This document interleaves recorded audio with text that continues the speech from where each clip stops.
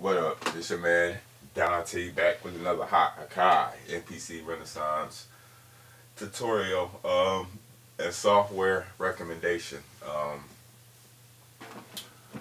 I want to talk about. There's been a lot of speculation about Nexus, the VST. A lot of people said they had trouble um, installing it on the Mac platform. Um, this video is to show you that you can install it. And you can see it's, it's up there. Um, to uh, change the GUI, um, because I know like sometimes you may see Nexus in black and white and all that stuff. You just go right here and hit Systems, and you go under here GUI Skin, and you just choose which one. Now you can buy, I believe you can buy custom ones. Um, I'll do another tutorial about that. Um, but this is pretty much how you do it. As you can see, it's work. You know, I bought it probably like a year or two ago. Um, and it...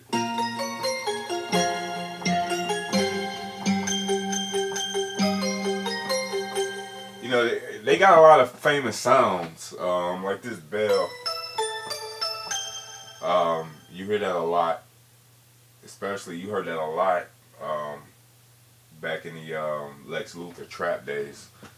Um, but it's a decent plugin. Um, like I said, I usually I'm more on hardware, but I do keep up to date with all the plugins and things of that nature, and it, it's a good plugin. It works.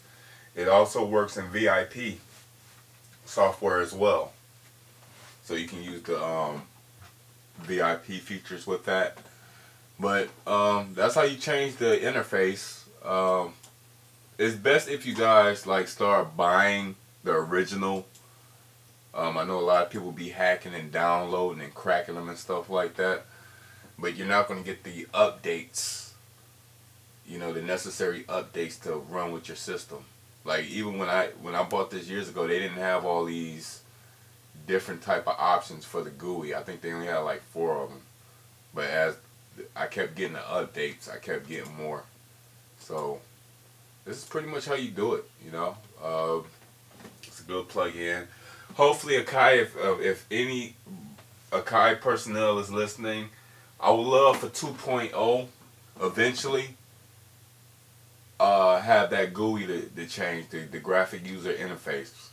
You know, um, the one that they have now is, is decent but eventually, you know, if Akai is out there listening, when 2.0 drop, um, for a future update, give us the option to change the GUI, the graphic user interface. Um, maybe even customize it. You know, because eventually, you know, people's gonna get bored with that new, uh, with the new look. So, just give us a way that we can customize them. You know, it doesn't have to be too extravagant and things of that nature. Um, but this is it. This is Nexus. You know, it's a decent VST. I made some nice songs. But you're not really gonna get the most out of it if you don't really know how to play. You know what I'm saying? Like we can choose a sound, just a basic sound. Let's go up here. I mean, that's basic sound, but if you don't know how to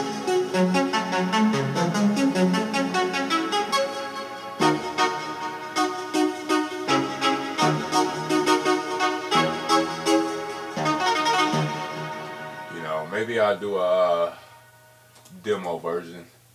But this is how you do it, you know. Nexus, you know, you got to get it. You got to get it. Peace.